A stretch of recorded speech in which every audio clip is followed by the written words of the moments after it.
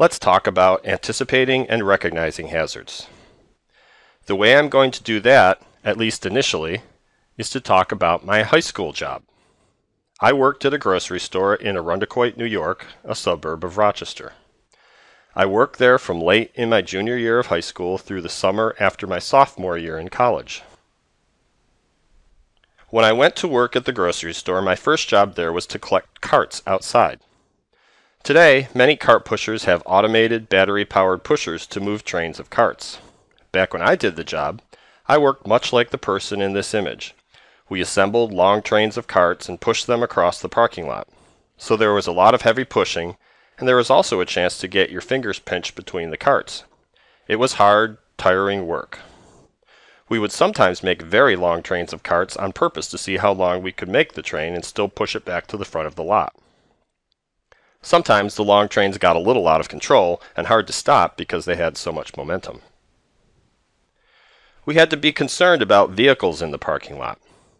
Often the parking lot was congested, particularly at busy times around holidays or on weekends.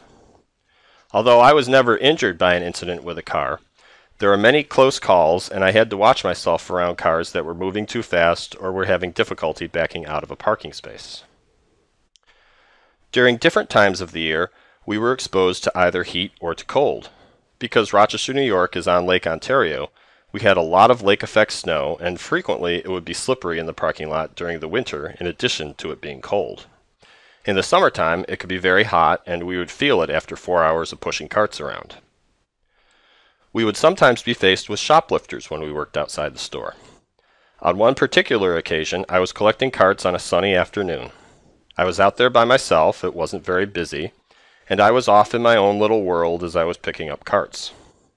So I wasn't really paying too much attention to what was going on other than in my own immediate vicinity. Suddenly, I saw this guy running toward me, and as he got closer, he yelled to me, Don't do it, man! Don't do it! I'm thinking to myself, don't do what? The guy ran past, and I was still trying to understand what he meant when my supervisor runs up to me and says, Pete, why didn't you stop him? I thought to myself, stop what? I had no idea what was going on. It turned out that he was a shoplifter. So there was a risk that, had I realized what was going on and tried to intervene, I could have been subjected to some violence. My supervisor was a little disgusted with me for not divining that I should have stopped the guy. This particular supervisor didn't like me very much, and it was sometimes stressful to deal with him. Eventually, I was given the opportunity to move inside, at least most of the time, and be a checkout clerk, which involves scanning a lot of items, putting them into bags, and lifting the bags up and over a shelf to put them into the customer's shopping carts. I would also have to enter numbers into the keypad on the register. Shifts on the registers could last as long as eight hours with a lunch and two short breaks. Standing in one place and repeating these same actions over and over was tiring. One of the other things I would sometimes do when I worked inside was to go to the back room of the store and bring sacks of paper bags, 500 per sack, up to the front end. We didn't have plastic bags back then, so these were thick paper bags. I would take a large cart to the back room, go into the truck trailer where the sacks were stored, climb a pile of sacks, Toss about 15 sacks from the pile onto the bed of the trailer. Pick the sacks up and pile them onto the cart, and push the heavy cart through the store to the front.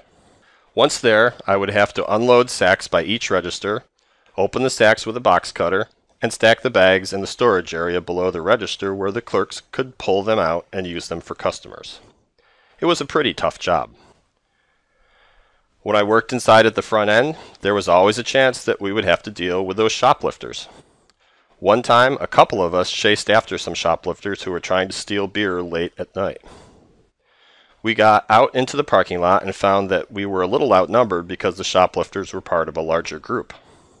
Fortunately, the shoplifters and their friends decided to leave the beer on the ground and drive away, rather than forcing a confrontation. Another time, several of us were working up front, and a car pulled up outside the front window of the store right near us. A bunch of guys piled out of the vehicle after popping the hood, and we could see that there was a fire in the engine compartment. We were naturally concerned about this, as you might expect. After a frantic few seconds discussing what we should do, I ran out to the store with our fire extinguisher and put out the fire, trying to keep as far away as I could. We were surprised about 10 minutes later when the guys piled back into the car and drove away.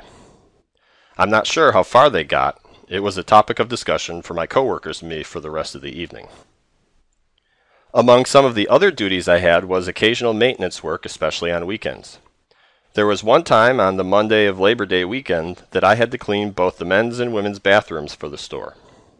It was clear that they had not been cleaned since the previous Friday, and it was a pretty eye-opening experience to have to clean those restrooms after that amount of time. In short, it was not a fun job. There was lots of nasty stuff in the bathrooms and a variety of cleaning products needed to be used. Another one of my occasional tasks was to take materials to the back room to be disposed of. Large groups of fluorescent bulbs are changed out at the same time in stores to make the task easier logistically. This was the early 1980s. The fluorescent light bulbs were not recycled at that time. When I was asked to dispose of the bulbs that had been changed out, I would take barrels full of them back to the trash compactor in the back room, pile them into the trash compactor, close the door to the compactor room, press the button to turn the compactor on, and we would then hear the bulbs shatter in the compactor. As a teenager, this was a pretty cool thing to hear, all the crashing and smashing, and eventually, after the compactor had stopped, we would open the door and we could see an almost magical haze of shiny glass particles floating in the compactor room. It was awesome to look at, man.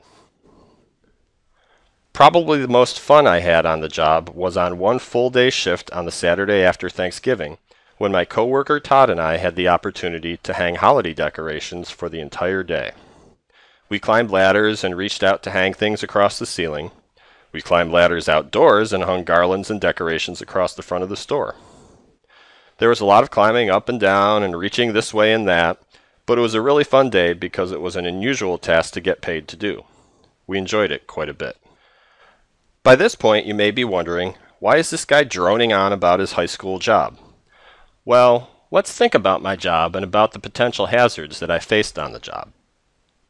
There were hazards that could have caused unintentional injuries.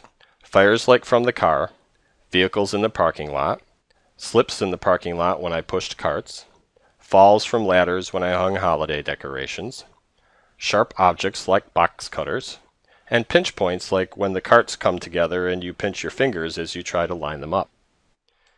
In addition to the unintentional injuries, there was a risk of intentional injuries. Violence was a risk, particularly when I faced shoplifters. Repetitive motion injuries were quite possible. I faced the risk of an injury to my back from pushing carts, lifting sacks of bags in the back room, and lifting full bags into customers' carts at checkout. Wrist injuries were possible from continually scanning items at the checkouts for long periods of time.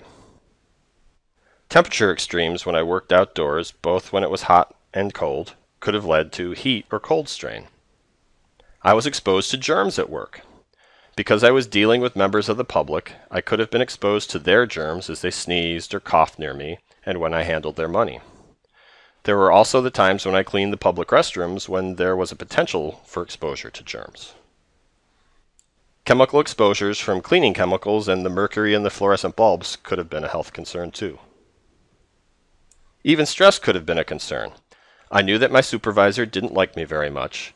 If I had cared more about the job than I did, I may have felt stress that could have impacted me negatively. There was a whole range of different hazards that I was potentially exposed to in my workplace.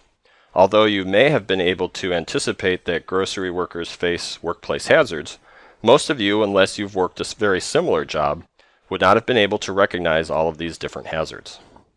This is an important point because when you are trying to anticipate and recognize hazards, you really need to get to know the job before you can be effective at analyzing the hazards. Ultimately, workers are the experts on their own jobs. If you are trying to understand where there is a potential for hazardous exposures to whatever sort of agent you're concerned about, you need to talk to the workers.